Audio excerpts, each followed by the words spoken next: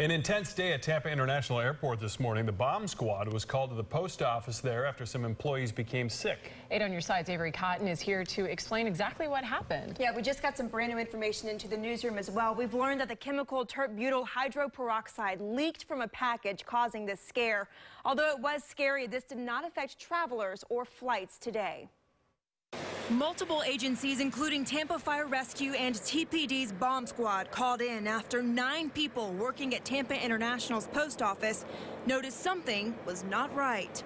There was a strong smell uh, from what we're being told by the people impacted. It was a, a, vinegar or a bleach smell. All nine of them explained that they started to feel sick after offloading a package.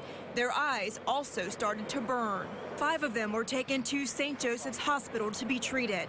The package was on a FedEx container, and it appears only one package was involved in this incident. Hazmat crews say a chemical was leaking from that package, but was clearly marked when it was offloaded.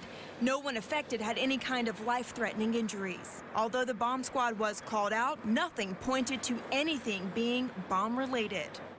And the post office has reopened. In fact, it reopened just around 1 o'clock after lunch today. Back to you. Okay.